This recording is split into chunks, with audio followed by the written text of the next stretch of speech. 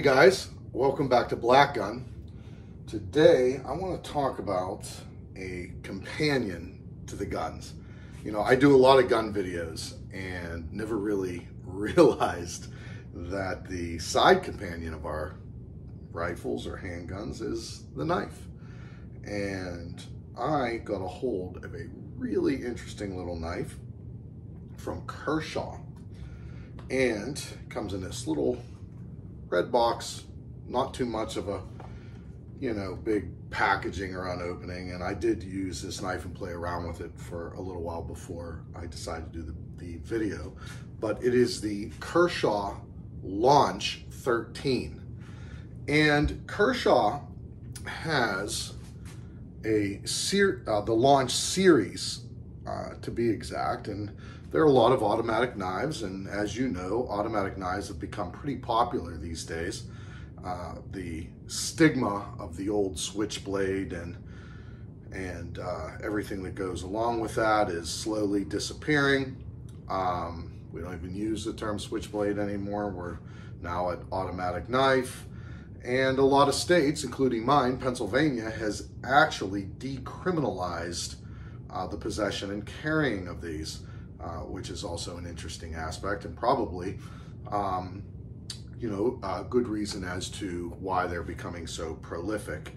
Uh, you know, to be honest with you, I don't think it's exactly them passing the law that made them prolific. What I do think is I think that it was more the tail wagging the dog, whereas so many people were buying these and using them that it just made common sense for them to adjust the law.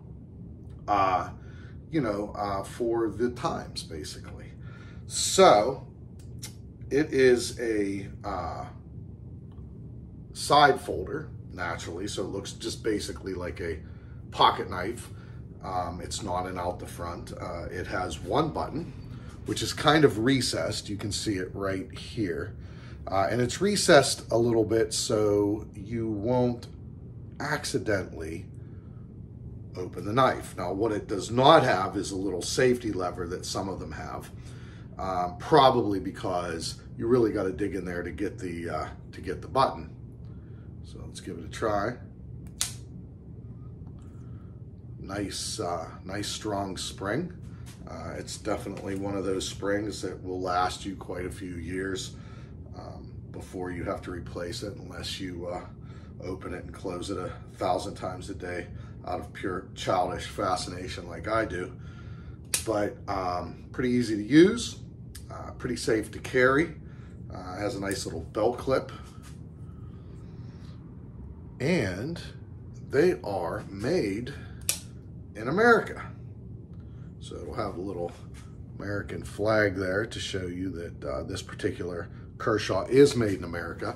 Remember, just because it says Kershaw doesn't mean that it's made in the States. Uh, you know, if it's a cheaper Kershaw, odds are it's made in some Oriental country out east, China, Taiwan, um, or the likes. Uh, but you have to look for the little American flag. Uh, as far as a price point is concerned, I've seen these as low as $140. Uh, I've seen it as high as $244. Again, if you're looking for the American flag, you're going to pay a little a little more for it. Uh, they have, like I said, Kershaw has two different lines. Uh, if it's cheaper, uh, I don't think that you're going to lack on Kershaw quality, but it's definitely uh, not supporting an American worker. So ultimately, I think that uh, you're better off just uh, spending the extra money to support our own country. the knife is the knife blade is very unique. As you can see, it's not like your standard drop point more has a flat edge and then uh, the top of the point here is, is, is dropping down so it gives you a kind of like a razor blade look to it uh, you know where uh, you know what I mean? Like where you know it's going to be used uh, you know for utility or cutting or a whole bunch of uh, you know other things. Uh, one thing I would like to mention that the style of this blade really makes for a very, very fine point, which if you probably got in there and started digging with the point, uh, odds are that there's probably a really good chance uh, that you're going to um, that you're going to snap that point off. So, you know, I probably wouldn't use it for, um, you know, utility work, should I say. I think uh, this is a, a, good companion pocket knife with a really interesting blade. Um, it is, uh, let me see the type of steel, uh, 7650, uh, which makes for a pretty rigid um, blade. Um, you know, a little bit of flexibility there, a little bit of strength. Uh, as far as uh, sharpening is concerned, you know, I, I, really haven't been there with this knife, um, and it's really not my forte. I'm sure that there's a whole bunch of other people out there that could give you a little more, um, a little more valuable expertise in that field than uh, than I could. But I thought I would do a quick little video on this knife. Bam. Can't believe they're legal in Pennsylvania, which is pretty cool. Um, I do carry this on the job or have just started to carry it on the job.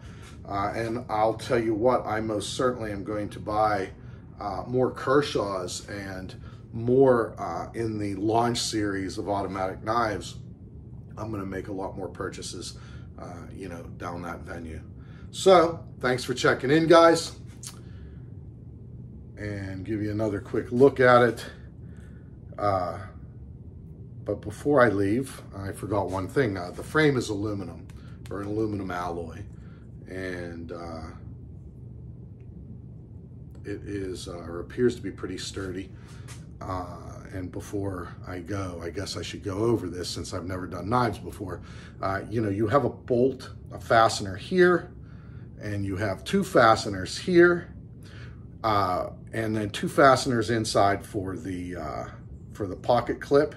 But I would venture to say that you can disassemble this knife to replace the spring. So everything seems to be replaceable as well if you use the hell out of it. And uh, and I do know that, uh, or do believe that uh, Kershaw has replacement parts and springs for it. So um, it's real, real good as far as ease of maintenance as well. I just wanted to throw that in before uh, before I go. So thanks for checking in, guys, and uh, I'll see you at the gun range. And you knife guys that I'm reaching out to, um, I don't know where I'll see you at. Where do we use these things for? Uh, I know I'm going to use it for the job. All right, guys, take care. Bye-bye.